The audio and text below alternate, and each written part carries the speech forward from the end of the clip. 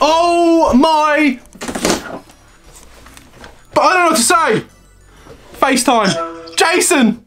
Griff, Yo. we need to get on YouTube Live.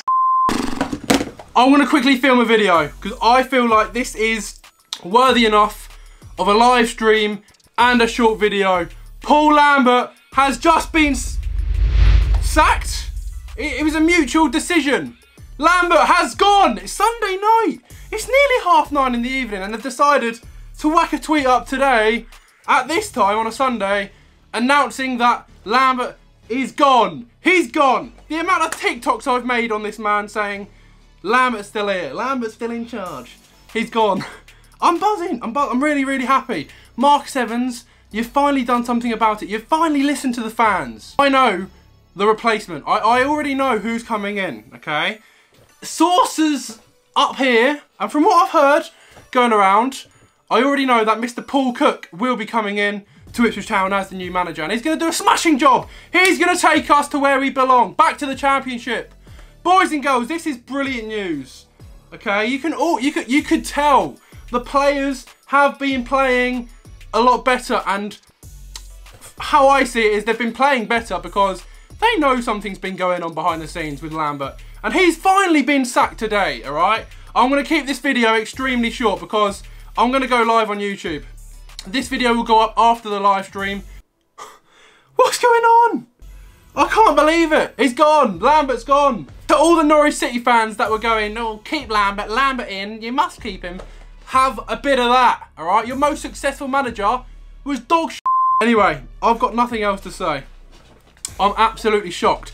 I, I didn't expect them to announce it on a Sunday night at half nine. Um, but there you go. Boys and girls, Paul Lambert is no longer Ipswich Town manager. Um, I know it's been a little bit negative towards Paul Lambert um, this season and recently, um, but I do, you know, I respect the efforts he's put in, and you know, we, we did have some good times with Lambert, especially at the start of our first our first season in League One. So, yeah, um, it's it's yeah, uh, it didn't end very well with Paul Lambert, but it's a fresh start for Ipswich Town. The takeover is still on the cards. It's I, I think the takeover is going to be announced at the start of March. So in a couple of weeks, it could all happen. But there you go. That's all I want to do. I just want to give you a live reaction to how I feel. Obviously, I'm happy because Paul Lambert isn't the right man for Ipswich Town. He he wasn't the right man to take us up. And I know I've said before, oh, Lambert will take us up. But look, um, yeah, it is what it is, okay?